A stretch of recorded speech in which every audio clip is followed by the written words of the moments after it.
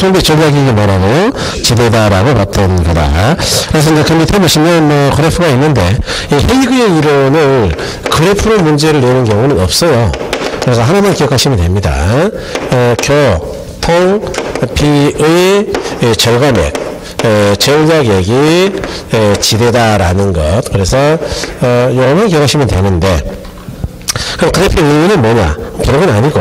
자, 중심지에서 거리가 멀어질수록, 어, 우리가 이제 거리가 멀어질수록 도시로 접근하려면은 어렵겠죠? 가는 게. 그래서 교통비도 적게 들까요? 점점점 많이 들까요? 많이 들겠죠. 그죠? 그래서 교통비는 이렇게 많이 들겠죠. 교통비. 어, 교, 교통비. 에, 그럴 때, 에, 우리가 이제 그 중심 같은 경우는 교통비가 안 든다. 그러니까 아, 토지 사용 대가가 좀 비쌀 것이고, 아, 밖으로 나갈수록 교통비가 많이 들어가니까 토지 사용 대가는 비쌀 거요, 쌀까요? 싸겠죠. 그래서 지대는 반대로 작아지죠. 에, 그럴 때 이 두 개를 더한 걸 우리는 뭐라 그러느냐? 그런 걸 마찰 비용이라 그래요. 에, 다시 말해서 마찰 비용이라는 거는 뭐냐? 어, 공간의 마찰을 극복하는 비용인데 예, 그거는 이제 이렇게 될 것이다. 다시 말해서 노란색하고 빨간색을 더한 것이다 그 얘기예요.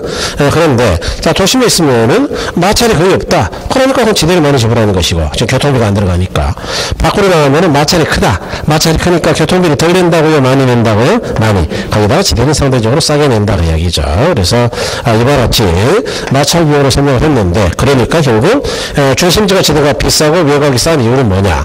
중심지는 교통비가 아, 이쪽보다는 덜 들어가기 때문이다. 그래서 교통비 전자객을 곧 지대로 받다. 그래서 이걸 일부 마찰비용이다라고 해요. 방금 이제 핵심을 말씀드렸고요. 에, 넘어가시면 이제 알론소 이론까지는 안 봐도 안 봐도 되겠고 여러분 에, 도시구조와 지대는 됐어요. 그건 X. 어, 뭐 거기까지는 필요 없어요. 그래서 에, 안 보셔도 되고 넘어가셔가지고 이제 보시면 좋은데 214쪽에 가로 1번에 생산 요소의 대체성과 도시지대 그것도 보면 좋은데 어, 시험에 안 나오죠. 어, X 그래서 어렵습니다. 이게 요소, 요소 대체 이론이라 굉장히 어려운 이론인데요. 여러분 시험에서는 안 나오니까. 자 이번에 입찰지대 이론이죠. 그래서 입찰지대는 이제 방금 아까 우리가 좀 이야기 드렸죠. 여러분 옆에 그래프 먼저 보죠. 자, 맨 안쪽에는 A업종, 그 다음에는 B업종, 그 다음에 C업종 이런 이야기죠. 그래서 A업종에다 그냥 써버리세요. 사업. 그 다음에 B에다가 주거. 그 다음에 C에다가 공업. 보통 그렇게 이제 돼요. 어, 그럴 때 입찰지대 이론은요. 바로 2번 그 그래프 바로 위에 동그라미 3번 보시면 에, 도심 지역의 토지는 한정되어 있기에 아, 토지 이용자들 사이에 경쟁이 싫어지고 완전 경쟁에서는 이런 이해 부분이 토지 소유자의 지대에 위착되게 되고 토지 이용자 입장에서 이 지대가 에, 해당 토지에 대한 최대 지불 용역이다. 어쨌든 최대로 많이 낸 사람만 토지를 땅 받는 거니까 이용자는 많이 최대 냈겠죠. 4번에 여기서 입찰지대가 다른 현지의 토지에 대해 토지 이용자가 지불하게 되는 최대 금액으로 초과이윤이 어떻게 된다고요? 제로가 되는 수준이다 그랬어요.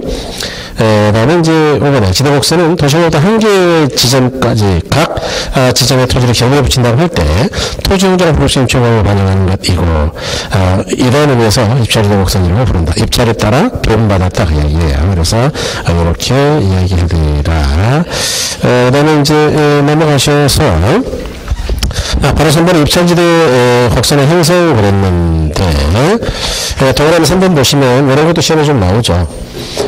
이 같은 현상을 용도에 따라 아, 도시 토지 용도와 비교해보면 도시에서 외곽으로 이전할수록 중간에 중심지에는 상업, 그 다음에는 주거, 그 다음에는 공업용으로 토지용이 결정되게 되더라, 일반적으로. 그런 얘기고. 그 다음에 이제 가로 사번의 입찰지대에는 영향을 해서 그랬는데, 자, 동그라미 1번. 시행상 요소간의 대치가 이루어질 경우에 일반적으로 입찰지대 곡선은 우하로 가면서 원점을 향해서 볼록한 형태를 띠더라. 여러분 아까 그림 그려봤지만 입찰지대 곡선이라는 게 이렇게 생겼잖아요. 이렇게. 이렇게 생겼죠? 이렇게 생긴 거 우리가 뭐라고 부르냐. 이것도 시험에 한번 나왔어요. 15일 때. 그래서 이렇게 생긴 거를 이게 원점이잖아요. 원점 쪽으로 튀어나갔으니까 원점을 향해서 오목하다고 볼록하다고 볼록하다 이렇게 얘기해요.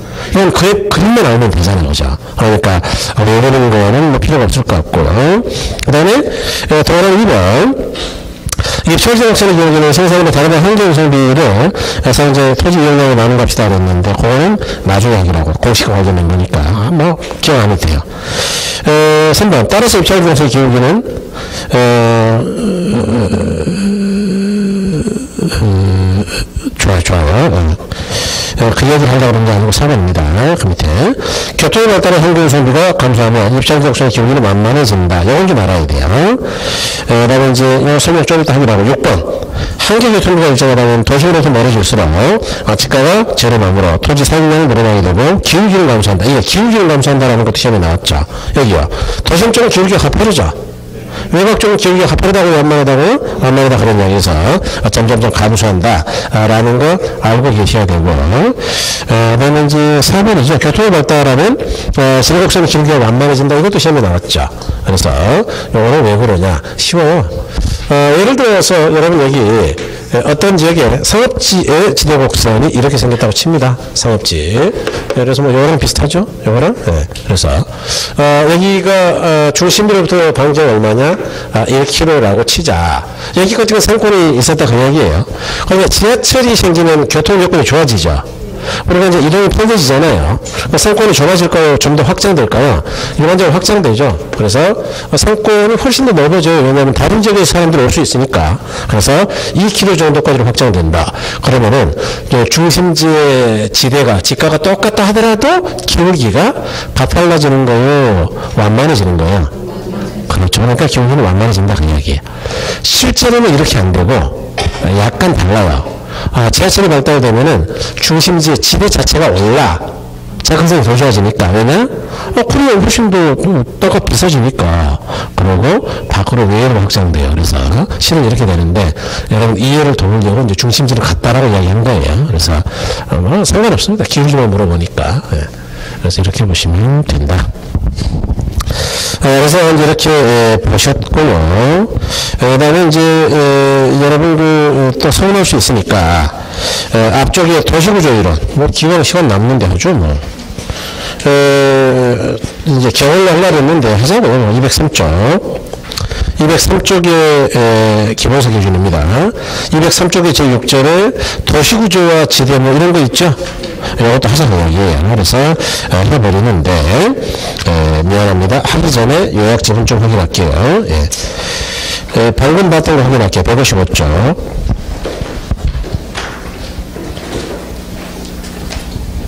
155쪽에 보니까 기타 그래가지고 마샬 예, 마샬은 이제 미치가치로 관계했다 그걸 기억해야 돼요 예, 사실은 이제 이게 이제 옛날 시험이 옛날 문제긴 하지만 예, 오래 전에는 이제 마샬과 위치가치라는 이야기 많이 했고요. 허드 허드 허드는 접근성이 가장 중요하다고 했다. 접근성 동그라미. 기억해야 됩니다. 그래서 허드. 그 다음에 이제 헬비 마샬 비용 이론이죠. 마샬 비용 이론은 음, 세 번째 줄에 보니까 뭐가 뭐가 지더라고요? 교통비의 전략이 그걸 기억하면 돼요 어, 라는 이제 선택지 이론이라든가 이런 거 됐고 어, 페널티 이론도 됐어요. 알려져 그래서 어, 됐고 뭐 그, 일단 세 개. 그 다음에 이제 넘어가시면, 어, 3번 지대 관련 논쟁 그래가지고, 바로 이번에 현대적 지대 논쟁이라고 있죠?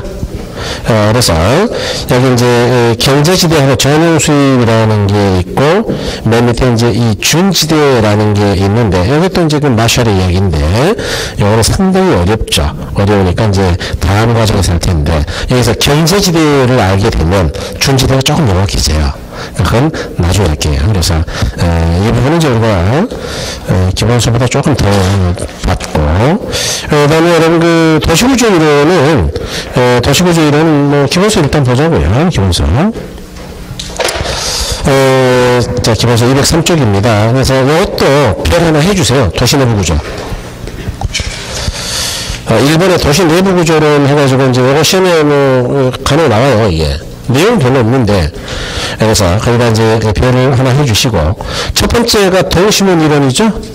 그 다음에 이제 두 번째가 어, 화이트 설명 이론이죠. 그 다음에 세 번째가 어, 다 핵심 이론이죠.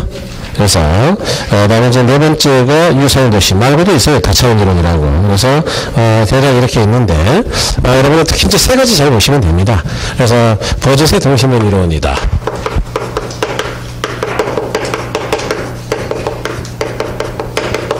어, 이것도 이제 뭐, 이 이름, 이, 이, 주장한 사람의 이름도 조금 기억하시면 좋은데, 어, 이건 중심지가 동일하다 해서 동심원이에요. 그래서 아, 근데 옛날에는 도시가 작았을 것이다. 아, 그러다가 도시가 인구가 증가하면은 이렇게 에, 동그랗게 원의 모양으로 확장될 것이다. 마치 우리가 호숫가에다 돌을 던지면 에, 파형이 쫙 동심으로 가지듯이 이렇게 맨 안쪽은 주로 중심 업무 지역이다. 아, 그래서 이 중심 업무 지역을 우리가 흔히 이제 영어로는 CBD라고도 합니다. Central Business District라고 하는데 에, 뭐 가끔 쓰긴 해요. 그래서 에, 말씀드려본 거고. 그다음에 두 번째는 뭐냐 그러면 이제 전이지대. 다른 말로 천이가 일어나는 지대예요. 침입과 천이할 때 천이. 그 다음에 이제 세 번째가 저소득층 주거 지역이죠. 그 다음에 네 번째가 고 소득층 주거 지역이고 마지막을 통근자 지역이다라고 이야기한다. 아, 그래서 이것도 이제 필요하면 기억하면 좋은데, 어, 뭐 이렇게 기억해도 되죠. 어, 중전이 저, 어, 고통을 당하는구나. 혹시 중전 마마 아세요? 우리 사극에서 많이 나오잖아요, 중전. 아, 중전이 예, 임금이 하도 바람을 피워가지고 고통을 당하고 있다. 그래서 중전이 저 고통을 당하는구나 이렇게 외우세요, 그냥. 어쨌든 간에 그거는 동수문상으로 안에 중심상업지부터 해가지고 바깥쪽까지 다섯 개 범역으로 어, 도시가 나눠진다는 걸 봤던 것이고, 아, 옛날에는 도시가 작았죠. 그래서 아, 상업지 안에 이제 이 안에 모든 것들이 있었는데 도시가 커지면서 이 상업지하고 주거지 사이에 재미지대가 있죠. 이 전이지대에는 침입과 개성이 에, 막 일어나는 지역이죠. 그래서 사람들이 들어왔다 나왔다 들어왔다 나왔다 하는 복잡한 지역이에요. 그래서 그리고 전이지대. 그 다음에 여기는 이제 주거 환경이 나쁜 쪽이죠. 저소득층. 이쪽은 주거 환경이 좋은 지역이고요.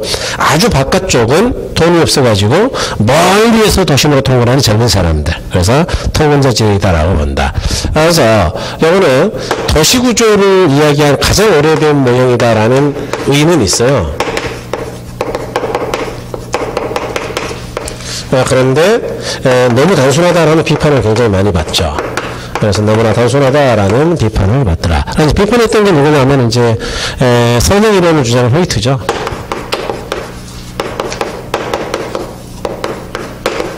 이 선자가 부채 선자에서 부채 모양이다. 예? 모양 형자니까. 아, 그래서 이 부채 예, 우리가 여름에 부채는 부채입니다. 예. 어, 그럴 때 이제 호이트 어떻게 봤느냐 이렇게 봤어요. 야 도시가 어떻게 그렇게 똑같이 동그랗게 커진다냐? 에, 그건 말이 안 된다. 그래서 중소유 지역이 있을 때, 에, 근데 교통축이 발달한 지역이 특별히 있을 것이다.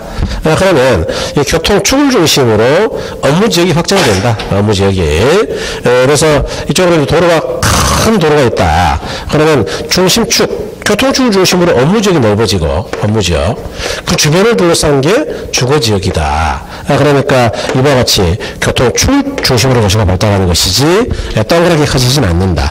그러니까 업무지역이 이렇게 넓어진다는 이야기 지금 이렇게 도로를 따라서 그래서 이쪽도 업무지역 이쪽도 업무지역. 어, 그럴 때 어, 고소득층은 웬만하면 교통이 가장 좋은 데 살려고 그런다. 그래서 이런데 어, 중간계급은 이제 고속 주변에 있다. 어, 저소득층은 환경은 나쁘지만 어, 출퇴근을 용이하고 일자리가 많은 곳에 있더라. 이 얘기는 뭐냐면 고소득과 저소득은 같이 산다고 나뉘어 산다고. 어, 그러니까 이제 부문별로 나뉘어 산다 그래서 그걸 부문 이론이라 그래요. 어떤 교통 축을 중심으로 발달하는데 축상 발달 이론, 축이론이라고도 합니다. 그래서 여러분 고하고 어, 제가 어, 주거비율이 분리되어 있다라는 거를 잘 설명하는 모양이죠. 어쨌든 간에 어, 왜 그럼 이거를 부채꼴 모양이라고 하느냐. 아래쪽을 대충 지어보면 어, 마치 여름에 더울 때 부채 붙이는 부채처럼 생겼다 그래서 설명이다라고 얘기하는 것이다. 네. 어, 그 다음에 이제 다핵심 이론이라는 거는 어, 해리스 올먼이라는 사람이 주장했던 것이다. 그래서 어, 해리스라는 사람하고 어, 울만 아, 또는 뭐 율만이라고도 읽어요. 우리말로 할 때는. 그래서 어, 울만이나 율만 뭐, 뭐 같은 이야기죠. 어, 그럴 때 어, 이 사람은 이제 어떤 이야기냐면 여기 동심원 이론하고 선행 이론은 공통점이 하나 있어요. 어, 이 도시의 중심지의 핵심이 하나밖에 없다라는 이야기죠. 이런 걸 단핵 도시 이론이라고 합니다. 단핵. 어, 그런데 헬스와 울만의 이론은 단핵 도시의 다 핵심이에요. 그러니까 도시 핵심은 한계가 아니다 그 이야기예요. 예컨대 우리나라 수도 서울로 보면 여기 이제 한강이 있다. 우리, 또 서울을 그릴 때는 한강을 그리면 조금 편하죠.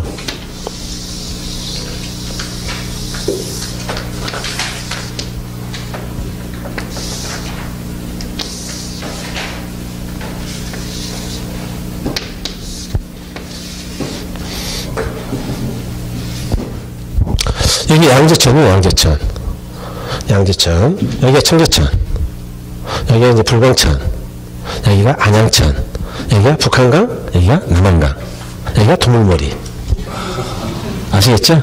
네, 서울은 여기에 보면 이제 거의 이제 그 지리적 공간을 설명할 수 있거든요. 어, 그래서, 어, 그럴 때, 여기, 이, 광화문이 이쪽 어디에 있겠죠? 중심 업무 지역이죠? 업무 중심지가 있어요. 그런가 하면은 명동에 상업이 중심지가 또 있죠. 상업이 중심지. 그런가 하면 대학로 쪽으로 가면 문화의 중심지가 있죠.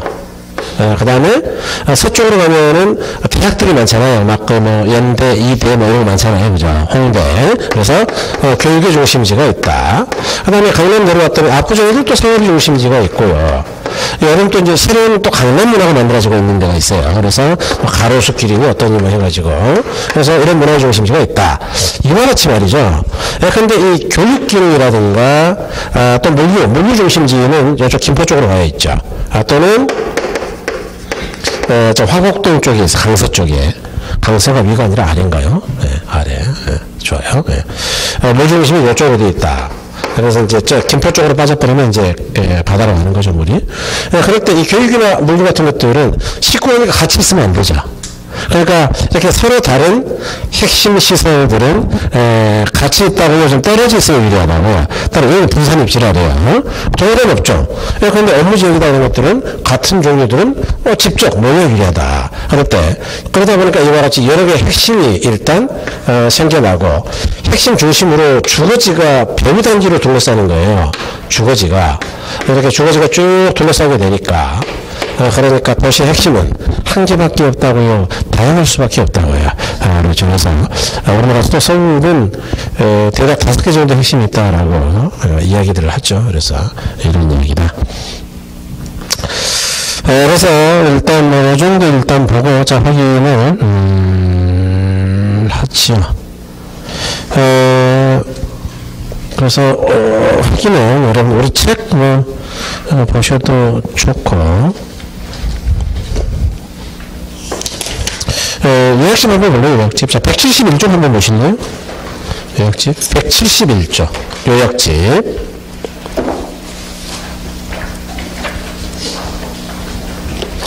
네, 171쪽에 가시면, 어, 이번에 도시내부 구조입니다. 뭐 그런 거 있죠, 그죠?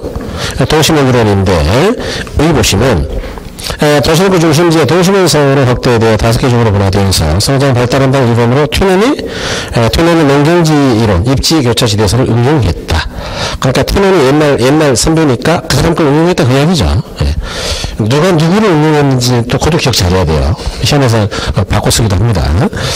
그다음 이번에 토종 패턴인데 어, 중전이 저보통이다. 천이지대가 다른 말로 전이지대가 그랬죠. 그래서 어, 중전이 근로자가 저의 다른 말로 그다음에 중산층의 다른 말로 고입니다. 그래서 어, 저보통이다 이렇게 외워도 된다. 그다음에 이제 문제점이죠. 어, 토종 패턴을 지나치게 단순화했다 그랬죠. 그 다음에 이번에 도로의 교통수단 발달이 도심을 변화시키고 있다는 점을 고려하지 않았다. 그러니까 사실은 도시가 도시문인 데는 없어요. 그래서 이 사람은 시카고를 도심으로 여고 있기 때문에 아 시카고가 평지죠 평지. 평지니까 도시문 성이지. 우리 수도 서울이 도시문입니까? 어, 여기 옛날에는 여기밖에 없었거든 사대문 도시가. 그럼 수도 서울은 도시문으로 쫙 커진 거예요? 아니에요. 북한산이 있잖아요. 북한산. 그러니까 북쪽으로는 넓어질 방법이 없어요. 그래서 예, 수도 서울은 길쭉하게 커졌단 말이에요. 길쭉하게. 그러니까 도시문이 절대 아니에요. 이해하셨나요? 어떻게 도시문이냐 말이 안 되지. 그러니까 비판하더라. 어, 선행이론이죠. 어이. 아, 토지는 도시에서 시작되는 교통망을 따라 도시, 어, 도시적으로 확장되면 따라서 원을 변형은 모양으로 도시가 성장 발달한다는 이론이다 그랬죠. 어, 그래서 어, 문제점은 이제 첫 번째 보니까 주거입지 이동을 설명하기 위해 고급주거적 역할을 강조하는 것에 불과하다. 그러니까 이제 주로 고가층은 나눠 있다라는 것, 고급지구조를 특히 강조했죠. 어, 그다음에 이제 세 번째 현대 도시는 부도심의 기능이 높아지고 있으나 이런 걸잘 설명하지 못한다. 이제 부도심까지는 안 나오죠 여기는. 그러면 이제 에, 다 핵심 이론 쪽으로 가면은 에, 여기 보시면 그러니까 도시를 설명하면 핵심의 수가 증가하고 도시는 복수의 핵심 중에서 발달한다 이론이다. 그래서 어, 동종 활동, 근데 똑같은 업무 또는 똑같은 상업 이것들은 상호 모여야 된다. 집합. 그래서 집적 이익이 있는 거예요. 이종활동. 예컨대 아까 물류하고 교육 같은 것들은 소외되는 활동이죠. 이것들은 모여야 된다고 흩어져야 된다고 흩어져야 된다 이런 이야기예요. 그래서 상호를 된다 그랬죠. 에, 그다음에 에, 그렇죠. 호전을 보시면 되고요. 그 다음에 넘어가셔가지고 다차원 이론이라는 것도 있는데 시몬스 이론인데요. 시몬스라는 사람의 다차원 이론은 이렇게 주장하는 겁니다. 어, 에컨대 다차원이다.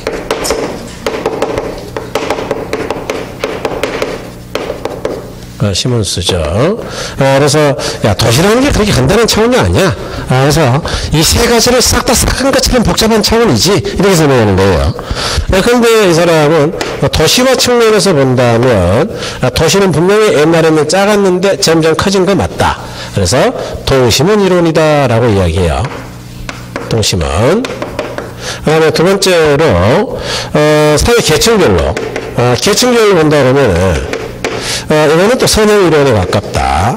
아까 뭐라 그랬느냐? 고와 쟤는 어, 한 군데 모여 산다 그랬어요? 나뉘어 산다 그랬어요? 나뉘어 산다 그랬죠? 그래서 어, 고가 좀 에, 도로가 좋고 쾌적한 데 산다면 어, 쟤는 어, 쾌적하지 않더라도 뭐 좀 일거리가 많은 데 산다 그랬어요. 이렇게 부분별로 나뉘어 살더라. 어, 그 다음에 사회계층이죠. 그 다음에 세 번째로는 인종별로 본다면 인종. 이거는 다핵심에 가깝다. 아, 미국이라는 나라는 이제 다인종이죠. 네, 그러다 보니까 여기 이제 도심이 있더라. 에, 그럴 때 백인들이 주로 거주하는 지역이 있는가 하면 흑인들이 거주하는 지역이 있고 에, 황인종이 거주하는 지역이 있고 에, 스페닉 아, 이쪽에 거주하는 지역이 있고 이와 같이 거주하는 지역이 같다고 각각 다르다고요? 다르다. 그러니까 핵심이 여기다 그 얘기예요. 핵심이 그래서 어, 도시는 이 세계를 포긴 것처럼 복잡한 것이다. 이 그림 세 개를 포기면 간단하겠어요? 막 복잡하겠어요? 아, 그게, 그게 시몬스 이론이에요. 이해하셨죠? 이렇게 해서 어, 거기 이제 일본과 도시는 서로 독립된 세계 차원의 도시와 어, 사회계층, 인종에 따라 아, 나눈다고 주장했다. 아, 도시화 차원에서는 이제 도시문, 어, 사회계층 차원에서는 선형, 인종 차원에서는 다역시 이렇게 유상 도시는 아주 간단하다 그랬죠. 이거는 뭐 우리가 저번에도 했는데 에, 유상, 유상 어, 또는 류, 류, 류 붙여가지고 류상. 이거 베리어 이론인데, 어, 요거는 뭐 간단한 게 별거 아니고, 어, 류가 리본 류자거든요. 그러니까 도시가 리본 모양으로 확장 발달한다 그 이야기예요. 그래서 중심의 무적이 있더라. 어, 그럴 때 어, 도로교통망이 이쪽으로 쫙 도로를 어, 도로를 만들면 도로 중심으로 아까 업무적이 넓어진다 그랬죠. 업무적 뒤로는 또 주거적이 생긴다 그랬죠. 이와 같이 하다 보니까 이게 이게 배가 살짝 불러가지고 도로 중심으로 리본처럼 어, 주요 도로 중심으로 도시가 띄엄띄엄 발달하더라. 그래서 이런 걸 류상도시라 한다. 그래서 교통기관이 현장에 발달한 존의 도시 내부에 집약되어 있던 업무시설과 주택이 간선도로를 따라서 아, 띄엄띄엄 이쪽 저쪽 간선도로 주변으로 리본 모양으로 도시가 형성되더라. 그래서 이런 걸 유상도시라고 한다. 그래서 이렇게 보셨어요. 그래서 여러분 그 여기까지 해가지고 자 기본서 기준으로는 입지로는 이제 완전히 정리한 겁니다. 그죠? 그래서 에, 다 아, 보셨고요. 자, 뭐 개인적으로 이제 정책을 못해서 좀 아쉽긴 한데 아, 정책은 뭐 어, 나중에 하죠. 뭐 또. 네. 어, 수고하셨고 여러분들 오후 특강은 지금이 5분이죠. 그래서 3시 10분에 하겠습니다. 뭐 식사 시간을 줄이진 않을게요. 3시 10분에 뵙죠. 예, 수고하셨습니다. 고맙습니다.